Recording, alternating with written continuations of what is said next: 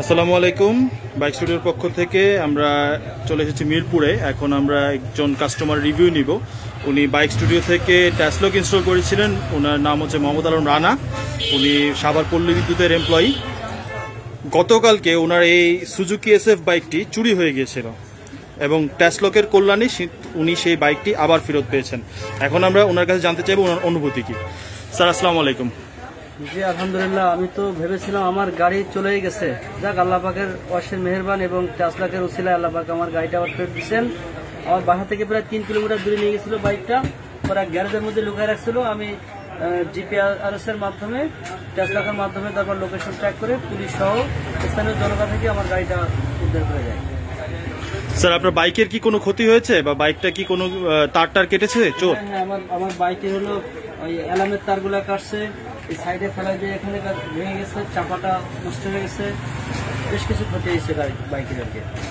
ট্যাসলকের পক্ষ থেকে আপনাকে সম্পূর্ণ নতুন ওয়ারিং করে দেওয়া হয়েছে স্যার। এতে আপনি কতটুকু সন্তুষ্ট? ট্যাসলকের সার্ভিস সম্পর্কে আপনি কতটুকু সন্তুষ্ট? আমি গেছি ওরা সাথে সাথে আমার বাইকটা ওয়ারিং করে দিচ্ছে যেখান থেকে সমস্যা রিমোট সব ঠিক করে দিচ্ছে আলহামদুলিল্লাহ। ধন্যবাদ স্যার ট্যাসলকে থাকার জন্য।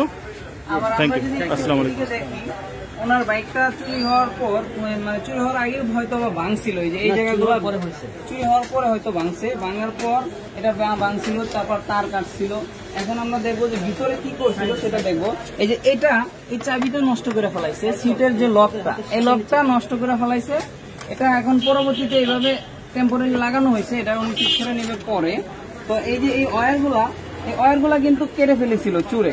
কাটার পরও বাইক স্টার্ট করে নিতে পারে নাই। মিউট করেন। এটা এই অ্যালামের মাইকের লাইন অ্যালামের লাইন এগুলো এই ওয়ারিং ওয়ারিংগুলো কেটে ফেলেছিল। তারপরেও বাইক স্টার্ট করে নিতে পারে নাই চুরে। তারপর চুর ধরা খায় ধরা খায় নাই মানে গাড়ি রেখে চলে গেছে কোনো এক জায়গায়। তো আমরা বাইক স্টুডিও থেকে এটা সেট করে দিয়েছিলাম।